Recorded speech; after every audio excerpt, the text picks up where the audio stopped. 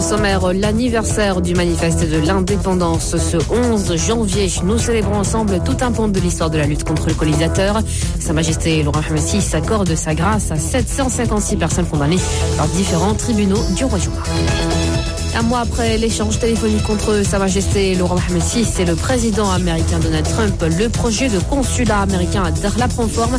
Une délégation de haut niveau était sur place hier.